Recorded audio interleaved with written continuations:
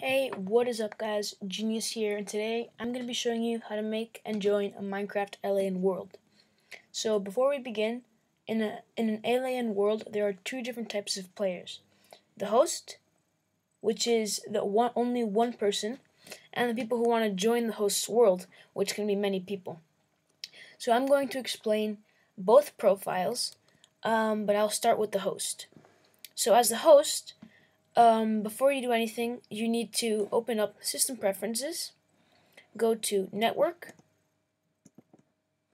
um, Advanced, TCP IP, and copy this.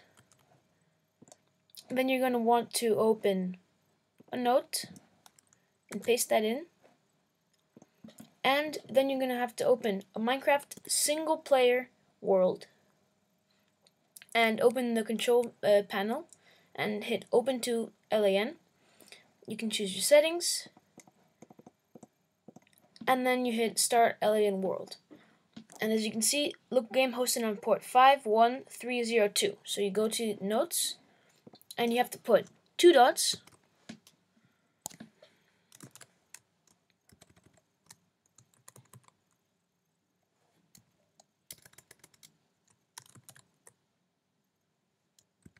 there.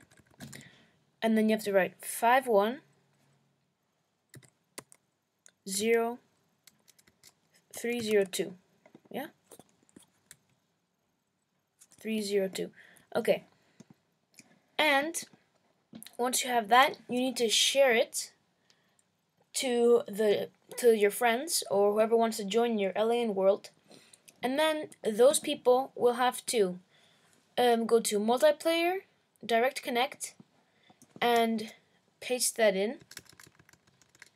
So they will have this note because you'll airdrop it to them or, or whatever, right? Copy it, paste it in, and then, well, it's, of course, I'm doing it on the same computer. Um, and since I exited the world, LAN turned off, so that's why I couldn't join.